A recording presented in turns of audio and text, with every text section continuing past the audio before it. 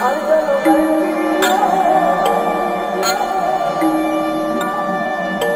ਖੜੇ ਵਿੱਚ ਡਾਂਗ ਖੜ ਕੇ ਚੱਕੋ। ਵਿੱਚ ਡਾਂਗ ਖੜ ਕੇ ਉਥੇ ਹੋ ਗਈ ਲੜਾਈ, ਭਾਰੀ ਅਰਜਨ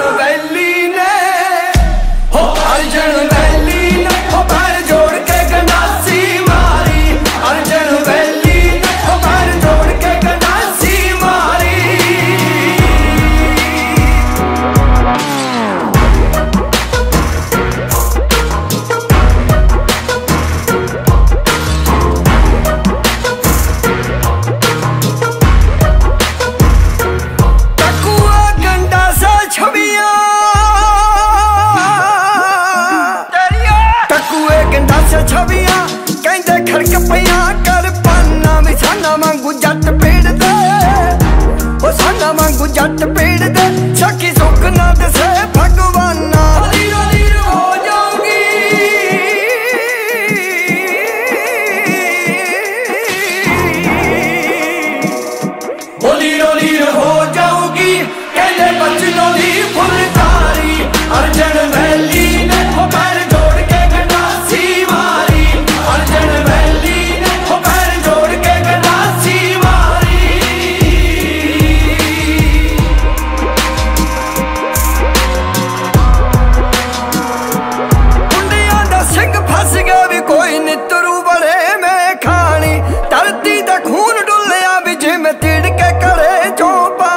ਸ਼ੇਰਾਂ ਵਾਂਗੂ ਯਾਰ ਖੜ ਕੇ ਚੱਕੋ! ਸ਼ੇਰਾਂ ਵਾਂਗੂ ਯਾਰ